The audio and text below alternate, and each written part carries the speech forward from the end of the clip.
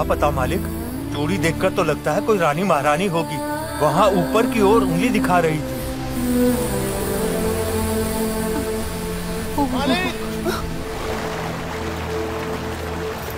अरे क्या हुआ? लगता है ये लोग अम्मा को मारने आए थे और अम्मा ने बड़ी चालाकी से इन्हीं को मार दिया। मालिक!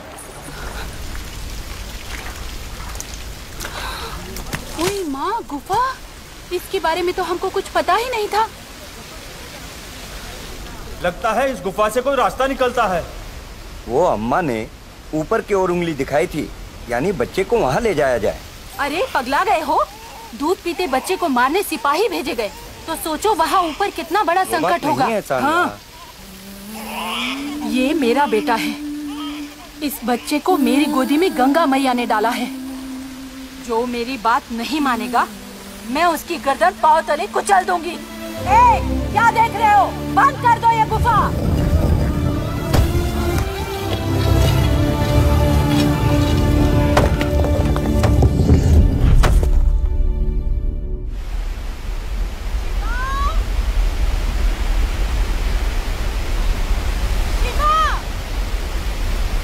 यहाँ क्या कर रहे हो बेटा?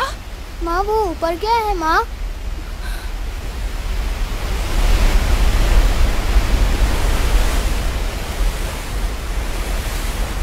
ऊपर भूत प्रेत रहते हैं। बच्चों को चीर फाड़ के खा जाएँगे। मैं ऊपर जाऊँगा माँ। फिर से वही बात। चल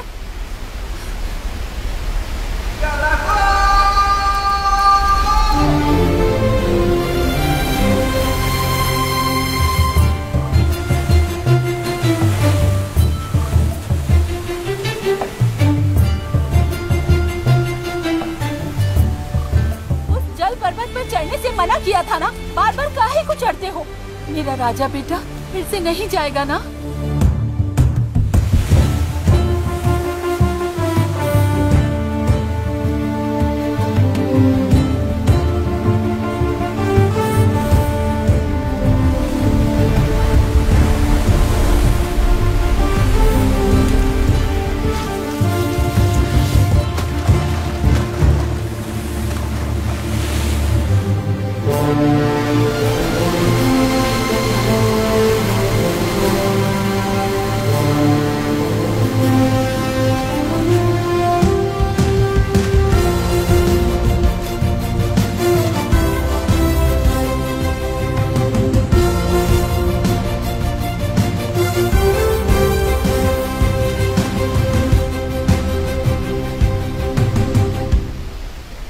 लगता है इस बार चढ़ जाएगा। क्या चढ़ जाएगा? वो जल पर्वत देखा है? बादलों में घुसा पड़ा है। अरे वो चालीस गज से कितनी बार गिरा है? हाँ कम से कम सौ बार। अभी देखना इस बार भी फिर से गिरेगा।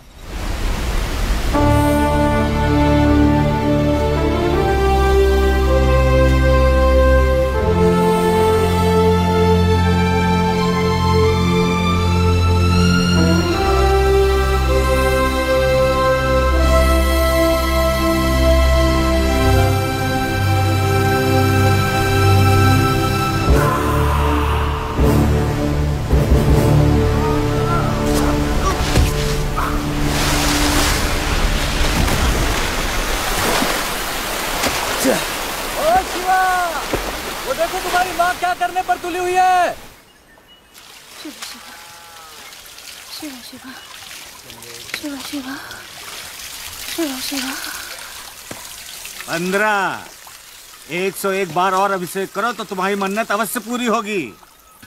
स्वामी मन्नत पूरी हो गई तो मेरा बेटा मेरी बात सुनेगा? उस जल पर्वत पर जाना छोड़ देगा? तो शिव की शक्ति जानती हो? तुम मन से महाकाल का अभिषेक करो। तो वो तुम्हारे पुत्र को उचित दिशा प्रदान करेंगे। ठीक है स्वामी। शिव स्वामी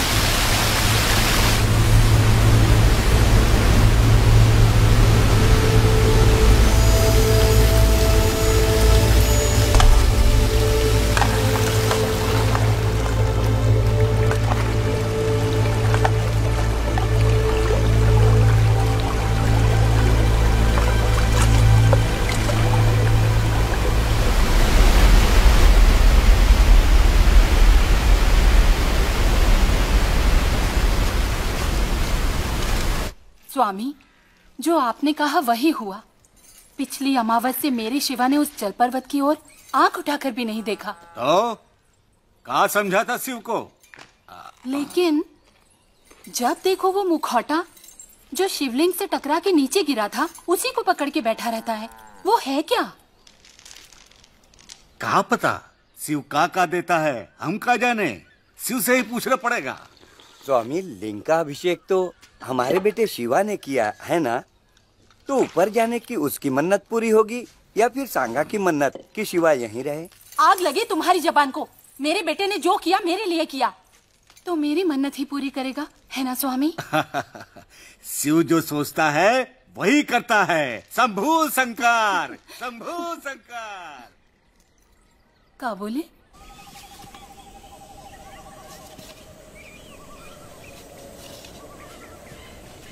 अरे ओ शिवा और कितने दिन इस लकड़ को पकड़ के बैठे रहोगे? वो ऊपर कोई तो है। है तो तुमको क्या? वहाँ तुम्हारी माँ कब से गला फाड़ रही है? चल घर चल। चलो जाओ रे। मैं बाद में आऊँगा। ए चलो रे। कौन है तुम? क्यों आई हो मेरे पास?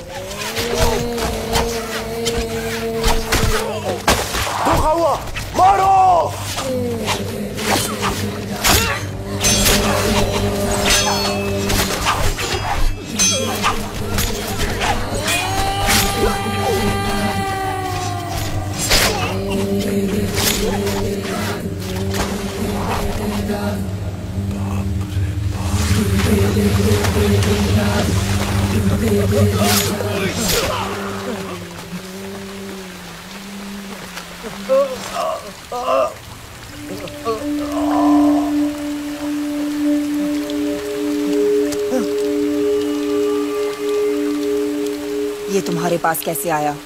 तुम्हें से कोई हमारे राज्य में चोरी छुपे घुस आया था। वो देवसेना को छुड़ाने की कोशिश कर रहा था। हमने उसे मार डाला। ये उसके हाथ में था। मैंने उससे ले लिया। मैं और कुछ नहीं जानता। मुझे छोड़ दो। मुझे आ...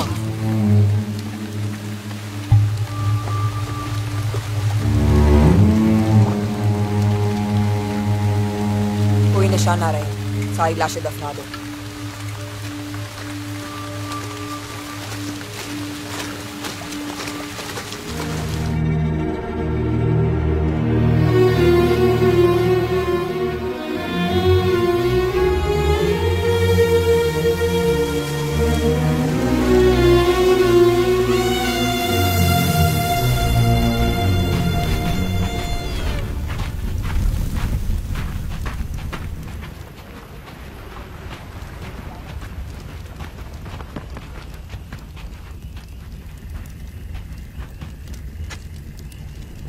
दिलीप को भी। वीर गति प्राप्त हुई, सरदार।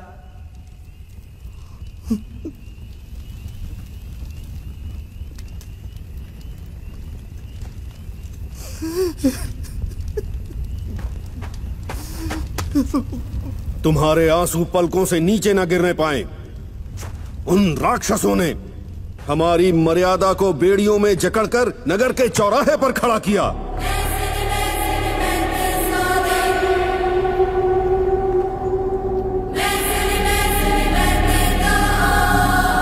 हमारी रानी देवसेना को क्रूरता से जानवर की तरह बाँध दिया।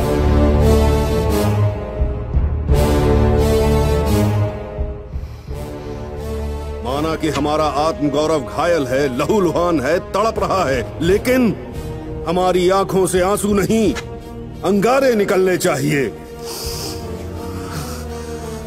क्या तुम अपनी ली हुई सौगंध भूल गए? मरते दम तक नहीं भूलेंगे सरदार। बात लक्ष्य की हो तो चाहे बिजली टूट पड़े, पर्वत धरती छोड़ दे, सर के टुकड़े हो जाए।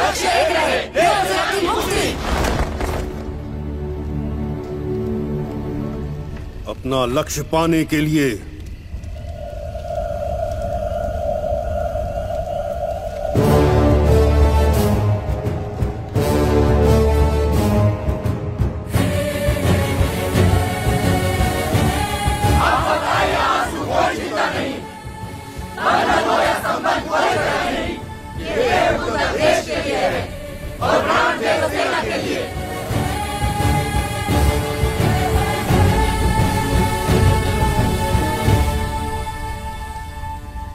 सरदार, माहेशमती में हमने महावीर कटप्पा के बारे में लोगों से सुना।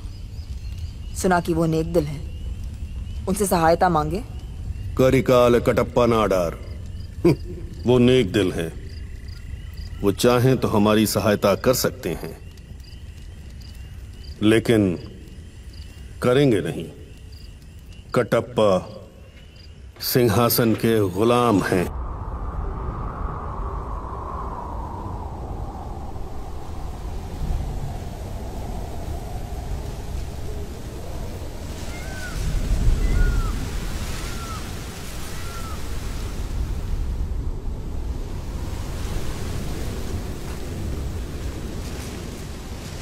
वैशाली।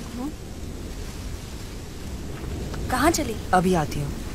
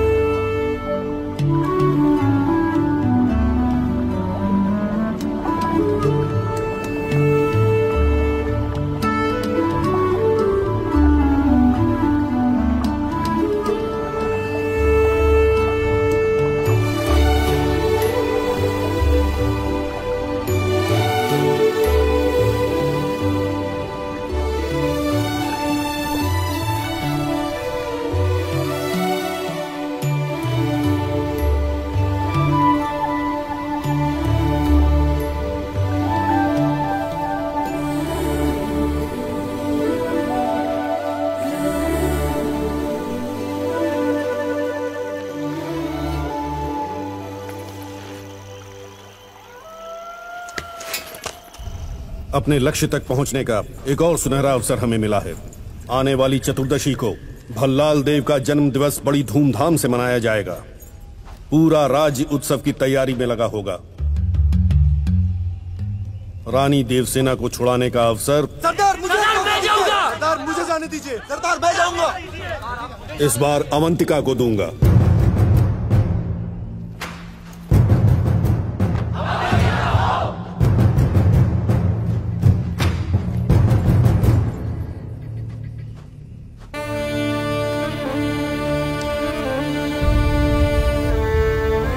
अवंतिका ये क्या है? ये कहाँ से आया? वहीं से जहाँ तुम संघर्ष को भूलकर श्रृंगार की तरफ़ मुड़ गई। जिसे अपने शरीर से प्रेम हो वो अपने प्राण दांव पर नहीं लगा सकता। तुम इस गौरव के लायक नहीं हो। जाओ!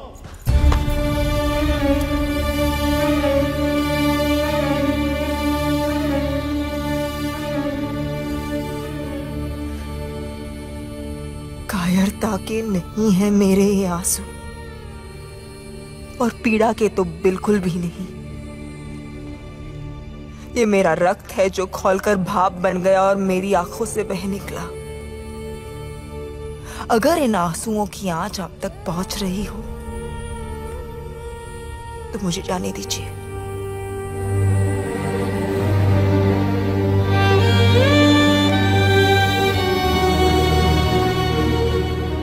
दो दिन बाद तुम्हें कूच करना है। तैयारी करो। ध्यान से अपना काम पूरा करके आओ, अवंतिका। अगर तुम सावधान न रही और